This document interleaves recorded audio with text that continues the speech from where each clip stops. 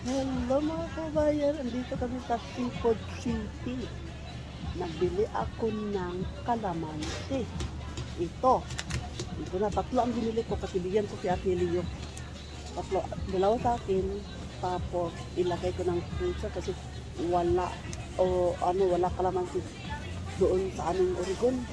So nagbili lang ako ng tatlo. O ayan. Ayan mga kabayan, nagbili ako ng tatlo. Tapos binigyan ko si Ate Leo ng isa. Tapos nagbili ako ng lanot mga kabayan. Maglilinis tayo ng bahay pag ano pabalik sa Oregon. Tapos, tapos nagbili ako, natikman ko to. Tayo kasi magluto ako para mamaya. Ano, nagbili ako ng rambutan. Meron lang rambutan.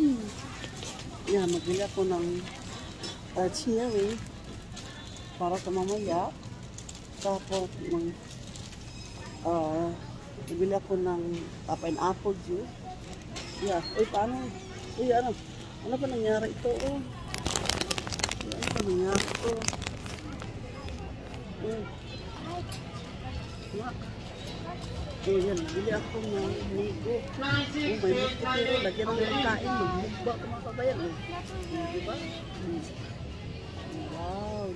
Ligo. Bibili ako. Ito, ito na. Tapos pagkain, mag-video na. Yeah, yun lang. Hindi ako, hindi na ako masyado mag magbili mga kabayan kasi ano, malapit na kami uwi. So, pagkain ko lang, ano, pagkain lang, kunti lang pagkain. Okay, bye mga kabayan.